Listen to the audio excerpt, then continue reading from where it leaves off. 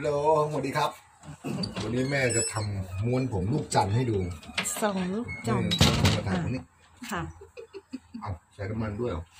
หอมดี มันไม่เป็นไรเราเดี๋ยวม้วนผมลูกจันทร์แล้วก็ใช้เครื่องมืออะไรเนี่ยเนี่ยเนี่ย เออเออแม่แม่คืออะไร แม่โชว์ค่ะ โอเคค่ะเขาเรียกไม่ถูกอะ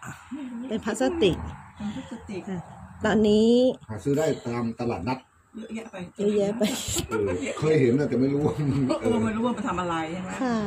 เอาสูงเอาต่ำบอกอ่ามาเอเนี่ยอ มันเป็นนี่มันเป็นมันต้องใส่เดียวของของกลางจ้าสูงแค่ข้างหลังเอาสักน้อยทาน้ำมันเพื่อที่จะเก็บผม อันนี้ขั้นตอนรวบผมให้เรียบร้อยนะคะ แล้วก็ยังไง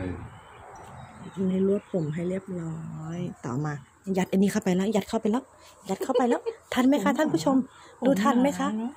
ผมหนาผมหนาม้วนยัดเข้าไปแล้วเจ็บก็ไหมเนี่ยม้วนเจ็บไหมม้วนทำไม่ได้ยากอะไรเลยเขาไปรู้เลยใส่เข้าไปแล้ว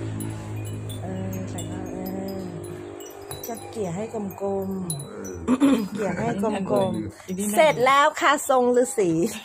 ทรงพราหมณ์ทรงฤาสษีงครามอะไอ้ที่เขาเอาที่นั่นครอบหน้าไหมลูกเอามาเอามาใส่โอ้ไหมหน้าตาดูเรียบร้อยขึ้นทันทีเลยค่ะ มันไม่มันไม่ทะลุงตุงนังไว้นะเห็นไหมล่ะถูกใจคุณนายแม่ไหมคะ ถูกใจนี่ดูเรียบเขาเรียกว่าผู้หญิงข้างหลังผู้หญิงอ่า เรียบร้อยค่ะ เอาไอ้ที่คาดผมคาดนั่นหน่อยมันได้ไม่ปิว